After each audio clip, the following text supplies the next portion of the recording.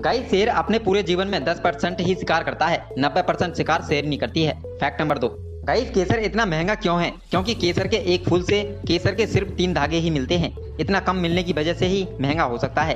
Fact number तीन। Guys market में सेब की कई तरह की प्रजातियाँ पाई जाती हैं, जिसमें ज़्यादातर सेब लाल ही होते हैं और हरे रंग के। क्या आपने गहरे बैंगनी रंग के सेब देखे हैं? गाइस, इस सेब को ब्लैक डायमंड एप्पल भी कहा जाता है।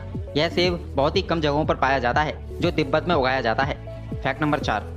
गाइस अक्सर आपने देखा होगा कि बैटरी के ऊपर एम ए एच लिखा होता है। इसका मतलब क्या होता है? गाइस एम ए एच किसी बैटरी के एक समय में कुल ऊर्जा रखने की क्षमता को बताया जाता है। एग्ज़ाम्पल अगर किसी डिवाइस की बैटरी 2000 एम क्षमता की है तो इससे 2000 एम करंट एक घंटे तक मिल सकता है। बैटरी के साथ उपयोग होने वाली यूनिट एमएएच का फुल फॉर्म मिली एम्पेयर आवर होता है। यह एक यूनिट है जो समय के साथ विद्युत शक्ति मापने के लिए उपयोग की जाती है।